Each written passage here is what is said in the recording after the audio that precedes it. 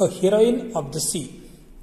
Around the rocky coast of England stand many lonely lighthouses, their lights shining across the sea, warn sailors at night of dangerous rocks. When they see the lights, sailors take their ships far out of the sea.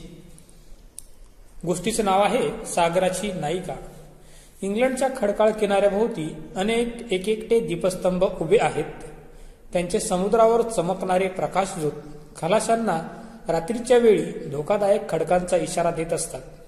हे दिवे पाहिल्यावर खलाशी आपली जहाजे समुद्रात दूर नेतात.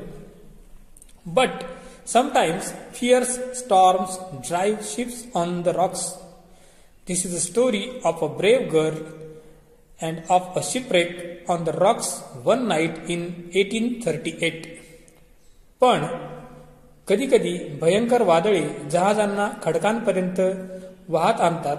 अठराशे अडतीस सालच्या रात्री घडलेली एका शूर मुलीची आणि खडकावरील एका जहाज फुटीची ही कथा आहे. Grace Darling was the daughter of lighthouse keeper she had lived all her life in lonely lighthouses far away from towns and cities There was not even a village near their home. Their nearest neighbors were many miles away. Grace Darling ही एका दीपस्तंभ राखणदाराची मुलगी होती तिचे सारे आयुष्य तिने गावा शहरापासून दूर एकाकी दीपस्तंभामध्ये घालवलेले होते त्यांच्या घराजवळ एकही गाव नव्हते सर्वात जवळचे शेजारीही कित्येक मैल दूर होते but Grace father was a wise and educated man who brought up his children very carefully. Grace and her brothers and sisters were all taught to read and write. Their father also taught them to be honest and brave and unselfish.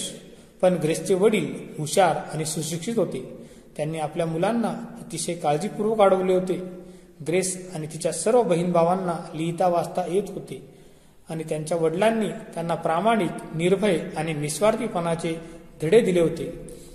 When Grace was ten years old the family went to live in Longstone lighthouse their new home was on some wild islands near the east coast of England the Darling children grew up here Grace दहा वर्षाचे असताना सारे कुटुंब लॉंगस्टोन दीपस्तंभामध्ये राहायला गेले.